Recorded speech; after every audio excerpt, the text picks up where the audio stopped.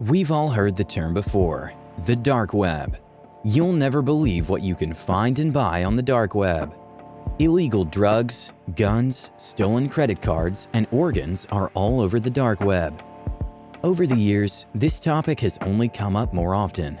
It's seen on forums, blog posts, and sometimes it even makes it into the articles of our local newspapers. But what exactly is the dark web? For some, it can be hard to find this information in layman's terms. That's what we're going to try and do here on Fact Addict today. Let's break it down into sections. Before breaking it down though, please make sure you're subscribed to our channel and like this video to help us grow. First, you have what's known as the surface web. This is the internet that we all use on a day-to-day basis. If you open up Google Chrome or Firefox or the browser on your phone, you're using the surface web. It's accessible to anyone, anywhere. Blogs, news sites, most host sites are found on the surface web. After that comes the deep web.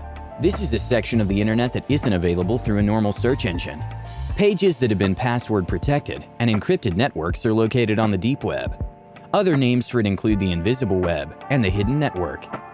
VPN servers and a bit of ingenuity can help you access the deep web, where it's easier to do things such as pirate movies and access other streaming services, among other things. In fact, this has become a very popular trend in recent years as the government cracks down on places like KISS TV and the Pirate Bay. Then you have the dark web, which is well known for being a platform that hosts illegal activity. In fact, it poses a new and formidable challenge to law enforcement agencies across the world. This is because it's only accessible through means of special software. Those who use the dark web are virtually anonymous. Tor, the software that they run, allows the users to remain virtually untraceable. That explains what the dark web is, but not what exactly it can do. We know that it's a hotbed for illegal activity, but those who are just learning about it might not be sure what happens. When it's nearly impossible to trace someone, what do they get into? In simple terms, the answer is everything. There's no limit to the unsavory things that are found on the dark web.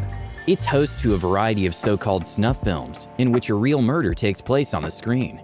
It's also host to underground communities of other highly illegal materials, ranging from drugs that are otherwise difficult to get your hands on to stolen credit cards, to illegal pornography. Other services, such as hiring someone to do a particularly illegal job for you, are sometimes purchased via the dark web. There have been documented reports of stalkers and assassins being hired through this encrypted part of the internet as recently as this past year. It's also often the start of a process called doxing. This is when private information and material about a particular individual is posted on the internet typically with malicious intent behind it. Doxing someone puts their daily habits, their phone numbers, their address, their place of work, their family, even the school of their children on the internet.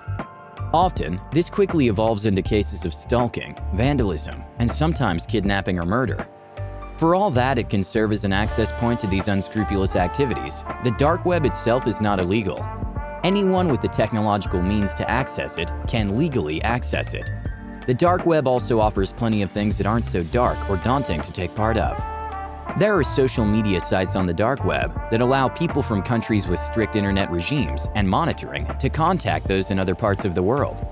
Forums and blogs are often found covering topics such as politics, often again geared towards countries that have a tight grasp on what news and information is readily available to its people.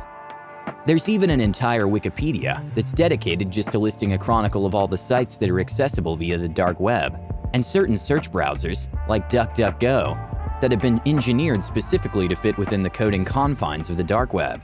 Like most parts of the internet, there are palatable things to find, and there are things that you probably shouldn't go poking around in. There's no policing what's posted or offered for sale. You are the curator to your own experience, what you encounter and what you click on is a choice that only you can make. Media is not wholly good or wholly bad. The internet is no exception. Every day, the amount of activity on the dark web increases. The technology that goes into keeping it protected and untraceable continues to develop and grow. It's virtually impossible to track the poster of a video, or an item that's up for sale, or the person behind a particular post or forum. This is both good and bad, the warnings that you hear online are absolutely applicable. Should you decide to browse the dark web, know that you're doing so at your own risk. Make sure you have a strong antivirus software on your computer. Give out no personal information and be wary of what conversations you engage in. On the dark web, you are your only protection, but it might just offer you the valuable information that you're looking for. If you like this video, please don't forget to leave a like to support the channel so that we can continue to bring you more great content.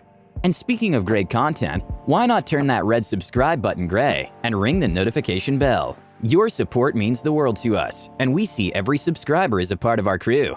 See you in the next one.